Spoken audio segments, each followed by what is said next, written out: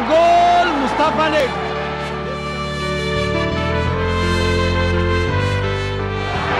صلح له الجول الثاني مصطفى نجم. الجول الثاني مصطفى نجم. مصطفى نجم خلاصها بدماغه. وشاط. وجول! وجول! وجول! لاعب موهوب نجم سطع في سماء الزمالك. ودخل قلوب الجماهير هو مصطفى نجم. ولأن لكل منا من اسمه نصيب.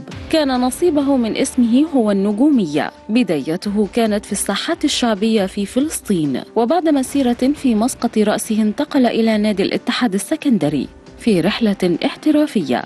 وكان موسم 1986 1987 هو أول موسم له في الدوري المصري الممتاز واستمر مع الاتحاد السكندري حتى عام 1990 في نهائي كأس مصر 1988 أمام الزمالك ظهر مصطفى نجم بشكل جيد.